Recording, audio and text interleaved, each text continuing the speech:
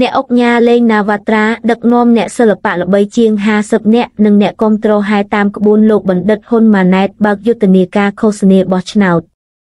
ភ្នំពេញកាលពីថ្ងៃទី1កក្កដាប្រមុខដឹកនាំគណៈប្រជាជនកម្ពុជាសម្ដេចតេជោហ៊ុនសែនបានថ្លែងសារនយោបាយសំខាន់នៅចំពោះមុខសមាជិកសមាជិកាសកម្មជន និងអ្នកគាំទ្រប្រមាណជាង72000នាក់នៅមជ្ឈមណ្ឌលកោះពេជ្រក្រោយបញ្ចប់សេចក្តីថ្លែងការណ៍សម្ដេចតេជោហ៊ុនសែនប្រធានគណៈប្រជាជនកម្ពុជាបានប្រគល់ទង់កាក់ជូនដល់លោកបណ្ឌិតហ៊ុនម៉ាណែតដើម្បីបើកយុទ្ធនាការឃោសនាបោះឆ្នោតជ្រើសតាំងតំណាងរាស្ត្រនីតិកាលទី7ឆ្នាំ2023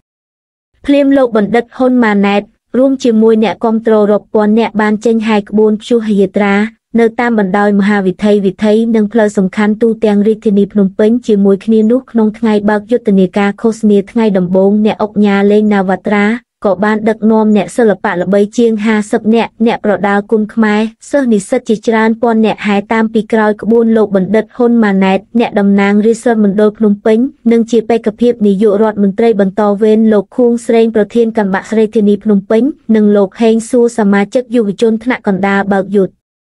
ធនាគារឃោសនាបោះឆ្នោតជ្រើសតាំងតំណាងរាស្ត្រនីតិកាលទី7ឆ្នាំ2023យ៉ាងក្រឹកក្រែងភ្លូកទឹកភ្លូកដី។